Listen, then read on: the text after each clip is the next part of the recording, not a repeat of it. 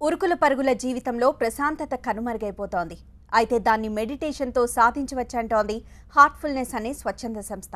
ప్రశాంతత సంతోషం వంటివి మన మనసుల్లో దాగున్నాయని మనసు కనెక్ట్ అయితే చాలు ఆటోమేటిక్గా మనకు కావాల్సింది పొందగలమని చెప్తోంది ఈ స్వచ్ఛంద సంస్థ. అమెరికాలో జరుగుతున్న హార్ట్ఫుల్నెస్ మీడియేటేషన్ కాన్ఫరెన్స్కు ఆహ్వానం పలుకుతోంది హార్ట్ఫుల్నెస్ అనే సంస్థ. యూనివర్సిటీ ఆఫ్ సదరన్ కాలిఫోర్నియాలో జూన్ పదకొండు పన్నెండున జూన్ ఇరవై ఐదున న్యూజెర్సీ పర్ఫార్మింగ్ ఆర్ట్స్ సెంటర్లో జరగబోతున్న కార్యక్రమాలకు హేమా హేమీలు హాజరు కానున్నారు.